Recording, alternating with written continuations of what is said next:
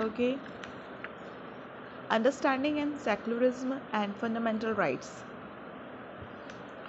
chapter reading में introduction मैंने आपको क्लास में ही समझा दिया था। सेकुलरिज्म का हमने थोड़ा बहुत क्लास में भी पढ़ा था कि इंडिया जैसी डेमोक्रेटिक कंट्री में बहुत सारे रिलीजन्स हैं। और ये जो रिलीजन्स हैं holds a significant place in people's life एक विशेष स्थान रखते हैं लोगों की लाइफ में।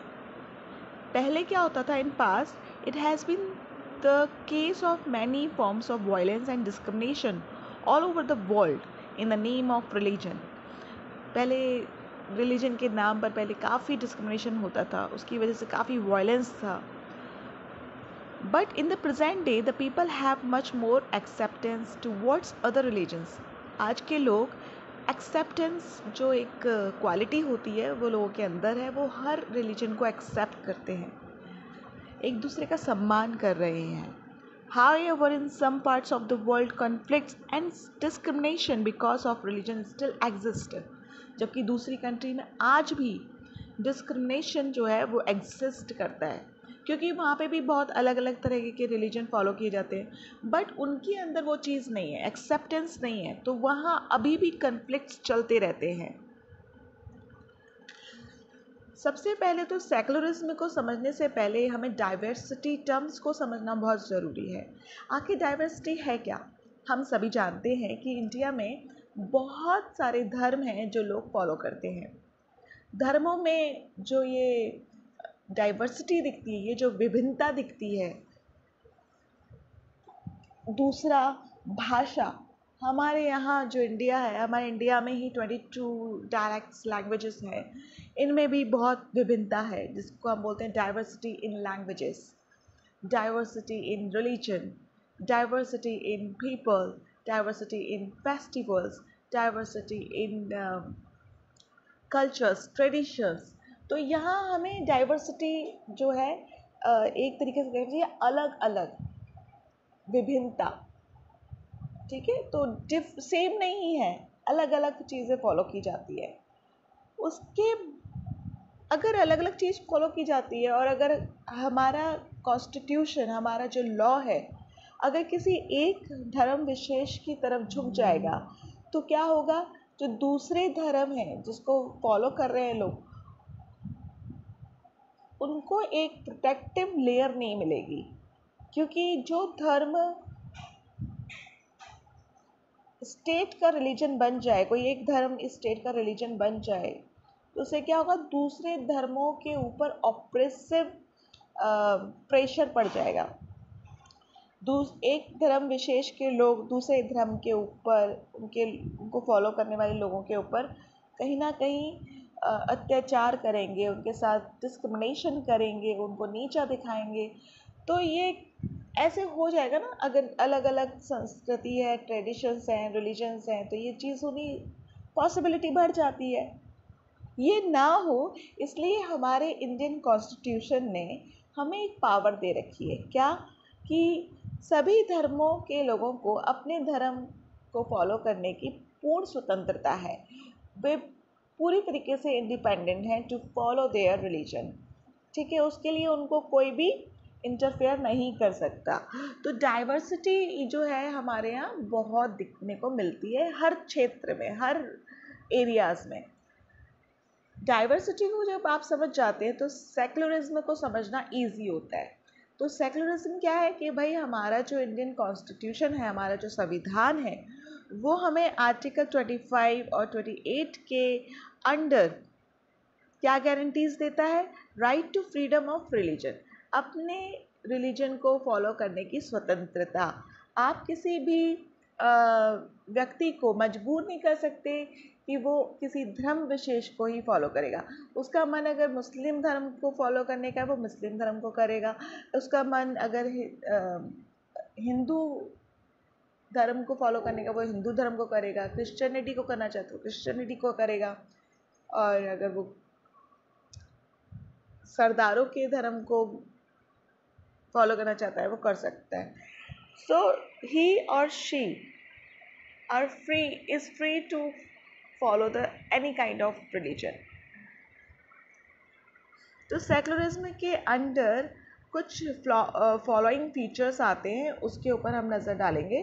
जैसे यहाँ पे सेकुलरिज्म का अभी मैंने आपको जो पिक डाला है बुक में से, उसमें देखिए सेकुलरिज्म मीन्स नॉन इंटरफेरेंस और non involvement of religion in matters relating to polity polity से यहाँ मतलब क्या है? राजनीति पॉलिटिक्स से।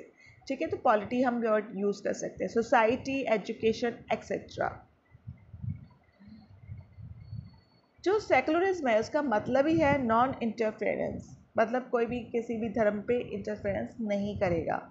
नॉन इन्वॉलमेंट किसी भी तरीके का इन्वॉलमेंट नहीं होगा। किस किस लहजे में इन्वॉलमेंट नहीं होगा? राजनीति में सोसाइटी में एजुकेशन सिस्टम में किसी भी धर्म विशेष का कोई इन्वॉलमेंट नहीं है कोई इंटरफेरेंस नहीं होगा। तो ये एक तरीका का एक गुण है सेकुलरिज्म जो हमारे इंडिया को हमारा कॉन्स्टिट्यूशन देता है हमारा लॉ देता है। हमारी गवर्नमेंट इसी फॉर्म पर बनती है। A secular country possesses the following features ये जो सेकुलर कंट्री है, इसके अंदर कुछ फीचर्स हैं, उसको समझना बेटा बहुत ज़रूरी है। जैसे पहला पॉइंट है इट डज नॉट प्रोपिगेट और स्पॉन्सर और religion nor does it preach about a particular religion in government run educational institutions also it does not consider one religion more important over other. हमारी जो government है, वो किसी भी तरीके का प्रोपोगेट प्रोपोगेट मतलब किसी भी धर्म विशेष के बारे में प्रचार नहीं करेगा प्रोपोगेट कि स्पेशल कोई प्रोग्राम हो रहा है कि हम हिंदू धर्म को प्रचार कर रहे हैं। गवर्नमेंट ऐसा नहीं करेगी। दूसरा स्पॉन्सर किसी भी धर्म विशेष के प्रोग्राम पर कोई भी गवर्नमेंट आपकी जो गवर्नमेंट है, वो किसी भी तरीके की स्पॉन्सरशिप नहीं देगी। उसमें पैसा नहीं लगाएगी। A religion not does it preach about a particular religion किसी भी धर्म विशेष के ऊपर कोई प्रीच नहीं होगा, कोई संदेश नहीं होगा, भाषण नहीं होगा, जिसके अंदर गवर्नमेंट रन कर रही है। और दूसरा, कोई गवर्नमेंट एजुकेशनल इंस्टीट्यूशन चलाएगी तो उसमें कोई धर्म विशेष के ऊपर विशेष बात नहीं होगी। It does not consider one religion more important over others किसी भी रिलीजन के ऊपर कोई एक धर्म विशेष पर महत्व नहीं दिया जाएगा।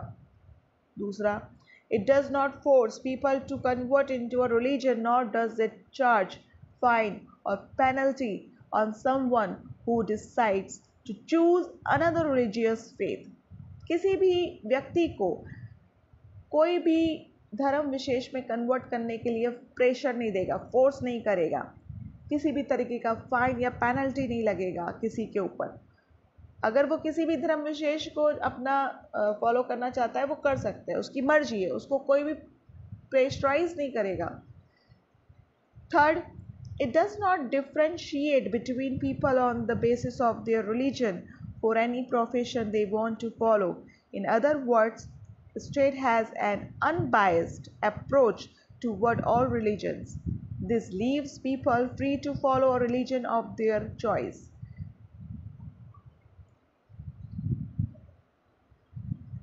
किसी भी तरीके का डिफ्रेंशिएट अंतर लोगों के बीच में नहीं किया जाएगा उनके धर्म के नाम पर और उनको हर तरीके का प्रोफेशन हर धर्म के लोगों को हर तरीके का प्रोफेशन फॉलो करने की स्वतंत्रता है, वो चाह, करना चाहते हो, कर सकते हैं। या दूसरे शब्दों में हम कह सकते हैं कि जो स्टेट है, या कंट्री की, पूरी कंट्री की गवर्नमेंट हो, या स्टेट गवर्नमेंट हो, वो अनबायस्ड रहेगी। अनबायस्ड मतलब निष्पक्ष, कोई पार्शलिटी नहीं। अनबायस्ड किसी भी धर्म विशेष के ऊपर आधारित नहीं होगी कि नहीं, हम एक धर्म विशेष के ऊपर कोई चीज़ करके फिर हम कोई चीज़ बना रहे नहीं अनबायस्ड होगी। वो unbiased approach toward all religion सभी रिलीजन्स के लिए एक जैसी होगी। This leaves people free to follow religion of their choice ये लोगों को स्वतंत्रता देगा कि वो अपने हिसाब से, अपनी चॉइस से कोई भी धर्म फॉलो कर सकते हैं। Non secular state non secular states का मतलब होता है किसी भी स्टेट के धर्म विशेष को स्पॉन्सर करना। पहले हम सेकुलर हमारा तो स्टेट सेकुलर है, इसलिए हम सेकुलरिज्म को फॉलो करते हैं। बट नॉन सेकुलर का इसका बिल्कुल अपोजिट होता है। The opposite of secularism is fundamentalism which means strictly blindly following teaching of particular religion अगर नॉन सेकुलर स्टेट होगा तो उसमें ब्लाइंडली मतलब बिल्कुल अंधों की तरह और स्ट्रिक्टली आपको किसी धर्म विशेष को फॉलो करना पड़ता है। Such a country divides its society because the followers of a state religion live more confidently as compare to the ones who do not follow the state religion ऐसी कंट्री में जो लोग होते हैं, वो डिवाइड कर दिए जाते हैं सोसाइटी में, समाज के अंदर, क्योंकि वो एक ही धर्म विशेष को फॉलो कर रहे हैं। तो वो बहुत ही कॉन्फिडेंटली उस कंट्री में रहते हैं। और दूसरे लोगों के स्टेट जो अगर रिलीजन फॉलो नहीं करेगा, उसके लिए उनके प्रॉब्लम क्रिएट हो जाती है। People belonging to other religions other than the religions supported by the state may state may face a lot of difficulties in giving a peaceful life in the society कोई भी peaceful life नहीं रह जाएगी society में अगर non secular state बन गया तो। क्यों? क्योंकि अलग अलग लोग धर्म के रहते हैं। अगर हम किसी धर्म विशेष को ज़्यादा महत्वपूर्ण देंगे तो जो मेजॉरिटी में हैं, वो लोग माइनॉरिटी को ऑप्रेसिव करेंगे, उनको दबाएँगे, है ना? ऐसे ही कोई पीसफुल लाइफ तो रह नहीं जाएगी। Here we need to understand that if states support a particular religion, then the followers of that particular religion will be in majority. Can you give an example of such a country? तो जो भी majority में धर्म चल रहा होगा जिसके लिए बिल्कुल एक विशेष धर्म बनाकर चल रहे हैं तो वो लोग मेजॉरिटी में आ जाएँगे वो लोगों की संख्या बढ़ जाएगी तो वो दूसरे अदर्स जो रिलीजन है जिन माइनॉरिटी में वो उनको ऑपरेसिव करेंगे उनको दबाएँगे तो ऐसी कोई कंट्री है जिसका आप बता सकते हैं तो अरब कंट्रीज़ को हम ले सकते हैं, वो एक ही धर्म को फॉलो करते हैं इस्लामिक धर्म। और दूसरे जो रिलीजन्स के लोग वहाँ पे रहते हैं they can not follow their own religion in that country वहाँ पे काफ़ी रूल्स हैं प्रिंसिपल्स हैं। अगर वो फॉलो नहीं करेंगे तो उनके ऊपर फाइन पेनल्टी कुछ भी लग सकता है।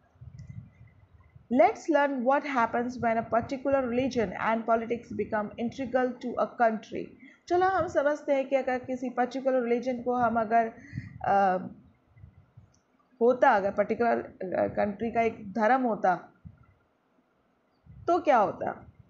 Secular is an essential constituent of a democratic country like India तो जो सेकुलरिज्म है वो एक डेमोक्रेटिक कंट्री इंडिया जैसी डेमोक्रेटिक कंट्री का एक बहुत ही असेंशियल असेंशियल मतलब बहुत ही महत्वपूर्ण, एक कॉन्स्टिट्यूएंट है, एक घटक है, एक तत्व है।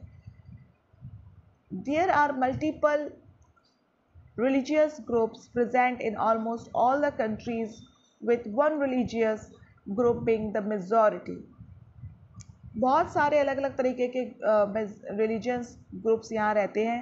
वो पूरी कंट्री में फैले हुए हैं। But this majority of a particular religion has some drawbacks लेकिन अगर कोई धर्म ऐसा है जो बहुत ही मतलब मेजॉरिटी में है इंडिया में तो इसका एक ड्रॉबैक भी रहा है पास्ट में। तो हम उस ड्रॉबैक्स के ऊपर अगर नज़र डालें तो some of them are oppression of the minority जो दूसरे धर्म हैं, जो मिनॉरिटी में हैं, उनके ऊपर एक तरीके का ऑपरेशन रहा। जैसे कि किसी को दबाना, ऑपरेशन मीन्स उत्पीड़न। Infringement on the right to practice the religion of one's own preference एक तरीके का उल्लंघन इन्फ्रिंचमेंट मतलब होता है against of something on the right to practice किसी भी एक के ऊपर एक तरीके का अगेंस्ट हो जाना कि वो अपने किसी एक पसंदीदा धर्म को अगर वो फॉलो करना चाहते हैं, वो नहीं कर सकते। Once political power and religion become one एक ही पॉलिटिकल अगर मान लो पॉलिटिकल पावर अगर कोई आई है मेजॉरिटी में, आज तो कोई भी मेजोरिटी में आ जाए, उसका ये है कि वो सेकुलरिज्म है। मतलब हर धर्म के लोगों को इक्वल सम्मान देगा। लेकिन अगर ये चीज़ होती कि एक ही धर्म विशेष की हम बात करें, अगर मेजॉरिटी में कोई एक ऐसी पार्टी आ जाए कि वो एक धर्म विशेष के ऊपर बात कर रही है तो वो क्या करेगी? वो अपने अधिकारों का गलत उपयोग कर सकती है, जो उसको लॉ देता है, उसको कॉन्स्टिट्यूशन देगा। वो उसका अलग एडवांटेजेस लेगी और अपने इंटरेस्ट के काम करेगी। There can be a possibility that the minority will be unable to practice its religion the way it want to do कोई एक, ये भी पॉसिबिलिटी हो सकती है, ये ये चीज़ हो सकती है कि भाई मिनॉरिटी जो भी है, वो अपने धर्म विशेष को, अपने धर्म को फॉलो ही ना कर पाए जैसा वो करना चाहती है। Dominance of religion leads to strife in a society because of the feeling of superiority of the majority एक तरीका डोमिनेंस हो जाएगा, एक दबाव हो जाएगा किसी भी एक व्यक्ति के ऊपर एक स्ट्राइफ स्ट्राइफ मतलब होता है कलह, किसी तरीके का एक लड़ाई, एक दबदबा इन अ सोसाइटी में मतलब सोसाइटी के अंदर एक दबदबा हो जाएगा कलह हो जाएगा। क्यों हो जाएगा? क्योंकि ये एक तरीके के मेजॉरिटी में जो धर्म चल रहा होगा, वो मिनॉरिटी के लोगों को ऊपर सुपेरियरिटी दिखाएगा अपनी, कि मैं बहुत बड़ा हूँ। This at time leads to violence against the minority और ये चीज़ क्या होगी? मिनॉरिटी में चलने वाले धर्मों को कम जो लोग हैं लोग किसी एक धर्म विशेष को फॉलो कर रहे होंगे उनको ये वायलेंस करेगी वायलेंट ट्रीटमेंट होगा उनके साथ। उनके साथ गलत व्यवहार भी हो सकता है। Such a state can not be term as a democracy as religious dominance of one community over another leads to discrimination which is against the principles of democracy तो डेमोक्रेटिक कंट्री के अंदर अगर ये चीज़ होने लगे तो पहली बात तो आ, कोई भी स्टेट इस डेमोक्रेसी का जो टर्म है, उसका कोई महत्व ही नहीं रह जाता। क्योंकि as a religious dominance of one community अगर कोई एक रिलीजन जो है, वो अगर डोमिनेंस होगा, किसी एक कम्युनिटी के ऊपर दबाव डालेगा, वो एक तरीके से क्या करेगा, एक भेदभाव की नीति को लेकर आएगा, जो कि एक डेमोक्रेसी के अगेंस्ट हो जाएगी। जो डेमोक्रेसी के प्रिंसिपल हो जाते हैं प्रिंसिपल होते हैं, उनके अगेंस्ट हो जाएगी। डेमोक्रेसी तो सभी धर्मों को इक्वल सम्मान देती है, लेकिन अगर हम धर्म विशेष को अगर हम महत्व दे देंगे तो वो क्या होगा? एक डेमोक्रेसी का मतलब ही हट जाएगा। Therefore true democracy calls for separation of religion from state इसी वजह से जो डेमोक्रेसी है, वो स्टेट से सेपरेशन कर देती है रिलीजन को। मतलब कोई भी स्टेट किसी भी तरीके का रिलीजन जो है, वो फॉलो नहीं करता। वो सभी धर्मों को एक समान देखता है तो एक रिलीजन को ही हटा देती है स्टेट से। And provides equality to all और ये देता है, जो ये जो दृष्टिकोण है, ये देता है इक्वालिटी सभी के लिए। तो यहाँ तक हमने सेकुलरिज्म को समझा डाइवर्सिटी को हमने उससे पहले समझा, और इसमें क्विक रिवीजन है, वो हम देखेंगे क्लास में। इसके बाद का जो है वो मैं आपको बताती हूँ, एक मिनट रुके। Religion in India secularism global and Indian perspective ये दो जो है वो मैं अपने नेक्स्ट वीडियो में आपको एक्सप्लेन करने जा रही हूँ।